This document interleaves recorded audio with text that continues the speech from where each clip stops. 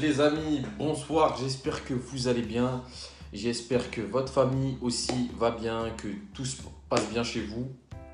Euh, bon, aujourd'hui je voulais parler avec vous d'un sujet dont j'ai jamais parlé. C'est la scolarité. Mon parcours scolaire. Scolaire.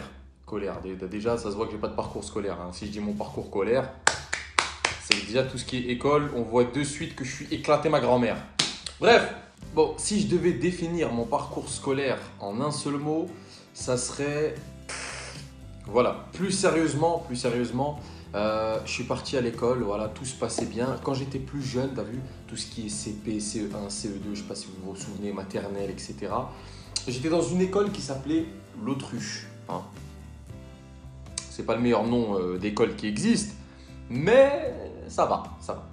J'étais euh, au CP, dans cette école Autruche.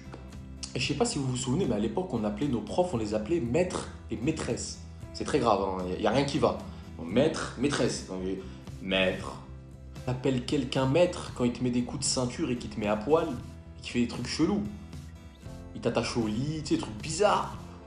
Ou alors, t'appelles maître, et, quand tu fais du karaté, tu t'appelles ton, ton enseignant maître. Tu sais, mais, mais là, à aucun moment, mon prof d'histoire, c'était un Jedi. Je vois pas pourquoi je vais l'appeler maître. Enfin bref. Là, mon parcours scolaire commence super, archi, méga mal. T'es au CP, je m'en rappelle. Alors je me tape la honte de ma vie au CP. Je me suis chié dessus. J'étais en, en, cours de français, je crois, un truc comme ça.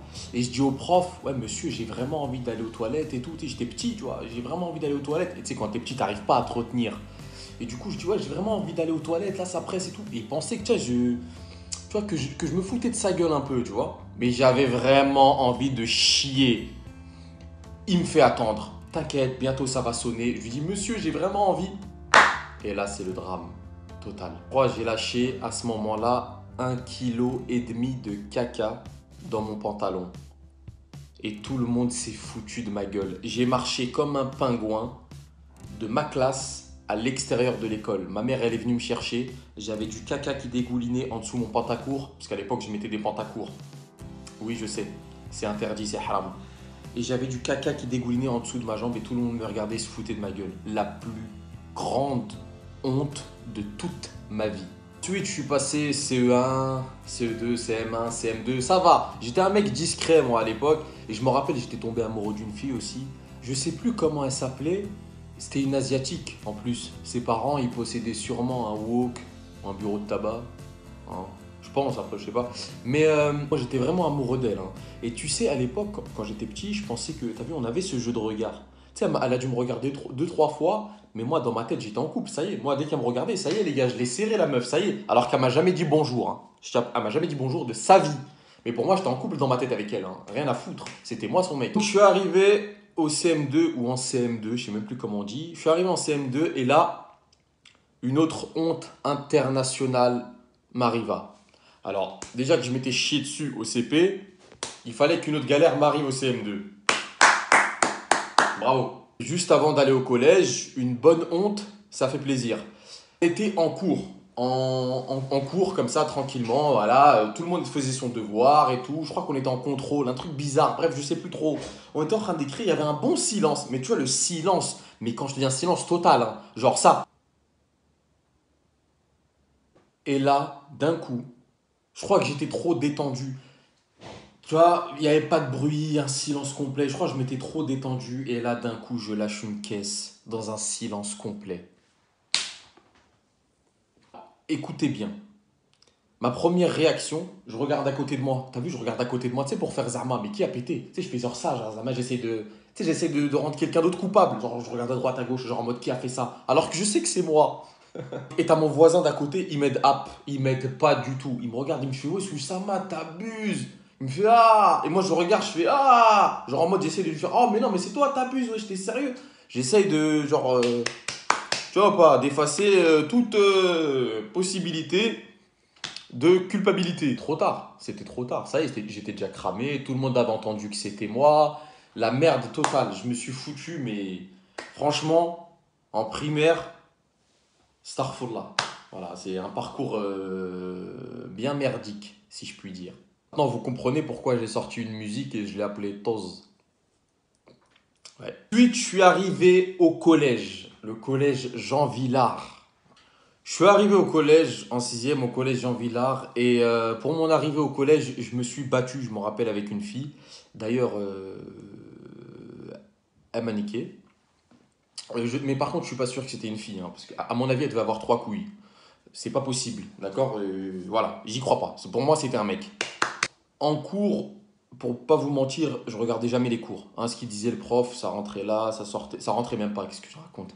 Euh, En fait, je jouais avec mes stylos. T'as vu en cours, les gens ils étaient en train de travailler et tout. Et moi, j'étais fan de catch. J'aimais bien le catch. T'as vu euh, J'aimais bien John Cena, euh, Rey Mysterio et tout. Et je faisais du catch avec mes stylos en cours pendant que les autres ils, travaillaient vraiment. Moi, je faisais du catch avec mes stylos. En fait, dès qu'il y avait une matière qui m'intéressait pas, eh ben je faisais du catch avec mes stylos. T'as vu Genre, je disais lui, lui c'est John Cena, lui c'est Rey Mysterio. Allez hop, battez-vous. Par contre, en mathématiques, j'étais nul. Mais alors nul. Il y a Jujujul et il y a Nounounoul. Moi, j'étais Nounounoul. En mathématiques, j'étais éclaté. Pourtant, tu sais, les mathématiques, c'était pour apprendre à compter, à multiplier, tout ça, tu vois. C'était pour les gens qui avaient de l'argent, tu vois, les mathématiques. Comme ça, tu peux compter, tu peux calculer.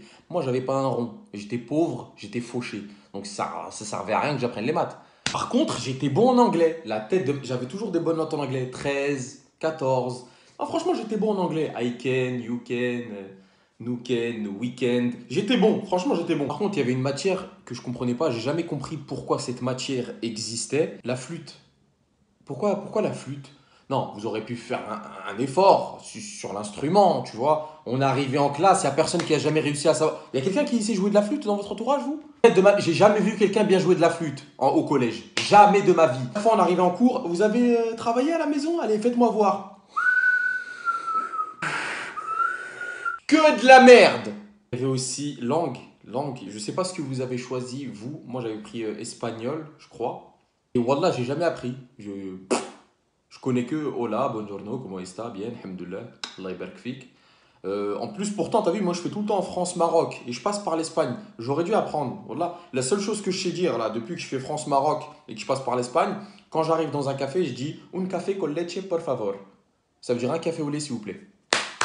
C'est tout. Le reste, par contre, ceux qui ont fait allemand, vous êtes chelou. Non, pour moi, vous êtes chelou. Comment tu peux aimer une langue comme ça?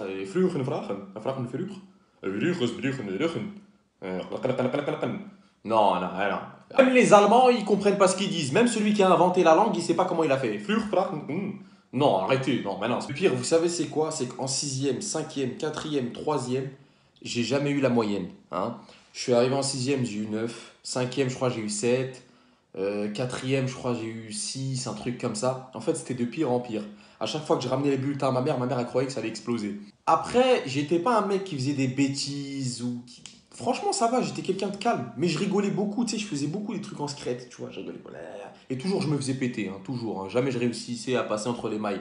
Never. Et en troisième, je vais vous expliquer comment j'ai arrêté l'école. En troisième, je suis arrivé à la rentrée. Là, je suis arrivé à l'école et t'as vu, on était tous bien habillés à la rentrée. On voulait tous avoir les meilleures chaussures, tu vois. On voulait tous être top. Et je suis arrivé avec mes nouveaux habits à la rentrée. Je suis arrivé, je leur ai montré mes habits, j'étais bien, beau gosse et tout. Et je me suis barré. Et je suis plus jamais revenu. Je sais même pas ça ressemble à quoi le lycée, l'université et tout. Je le saurai jamais.